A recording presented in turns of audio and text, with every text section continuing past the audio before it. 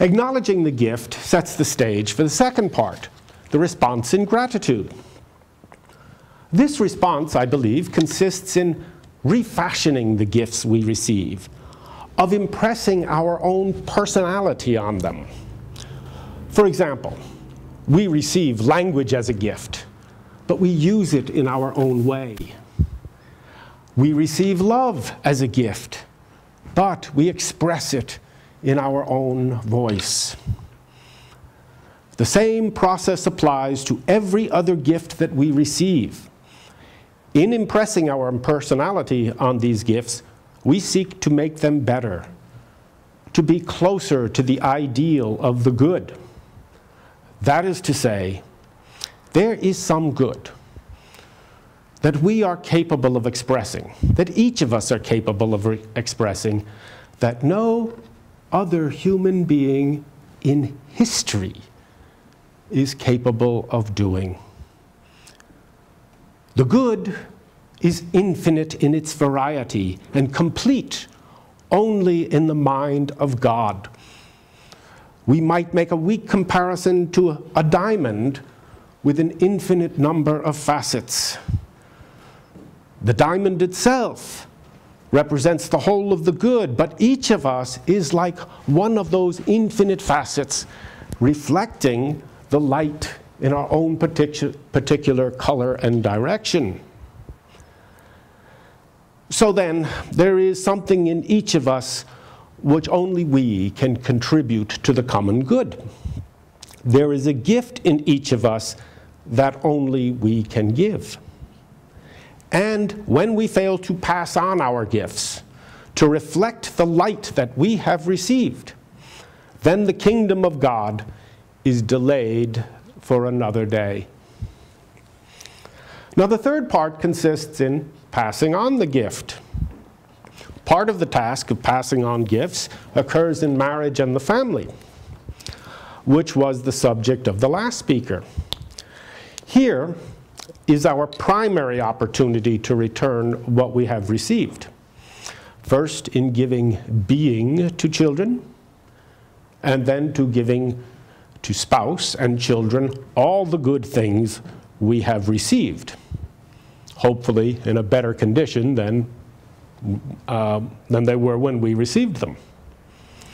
It is easy to, enough to speak of the family as an economy of gifts. Well, you don't charge your children room and board, at least not below the age of six. Um, however, I am suggesting that even those things which are a part of the exchange economy, those things covered by a price, are also part of the gift economy. Considered properly, the gift, the price funds the gift, but it does not explain it. And I will go even further to say that an economy in which products are not regarded as gifts will tend as a merely technical matter, to exhibit certain pathologies. And among these are the, patho are the pathologies we call recessions and depressions, booms and busts. More of this in a moment, but for now I will merely assert that even the exchange economy, properly understood, is part of the gift economy. A gift, we should note, is always an expression of love to one degree or another. Hence, a gift economy presupposes a civilization of love. Uh, to use a term from, Saint, from um, John Paul's Evangelium Vitae, the Gospel of Life. Again, this is the kind of term that an economist finds suspicious. However, allow me to point out that a civilization of love is the only kind of civilization that is possible. To be sure, a civilization without love will be uncivil, but it will also be unstable um, and impractical, always on the brink of disaster and always requiring massive statist interventions to preserve it for another day, until the day when the whole structure falls of its own loveless weight. I believe that is the situation in which we find ourselves today. Our task, then, is to save what can be saved and to rebuild on the basis of love, the only sound basis for life. Now, this ev evangelization is the task of the laity, the third term that Father Sweeney dealt with. I have to start out by saying I'm not uh, sure that I care for the term laity. In the first place, it places the emphasis in the wrong place on what we are not. For the laity is simply regarded as those who are not ordained priests. But we are priests. By virtue of our baptism, we are priests, prophets, and kings. The proper division, in my opinion, is not between the priesthood and the laity, whoever they are, but between the sacramental priesthood and the popular priesthood, the priesthood of the people. The sacramental priesthood has the task of mediating the sacraments to God's people. But the popular priesthood has the task of mediating the graces we receive in the sacraments to the whole world. It is the popular priesthood that is the leaven of the world, the salt of the earth, and that has the task of making the gospel concrete and present in the world in a real and visible way. I want to speak then of this practical task of building up this very practical civilization of love. However, before I do that, I want to pause to contrast this view with what might be called the public orthodoxy that guides our politics and economics. This public orthodoxy I call liberalism or individualism.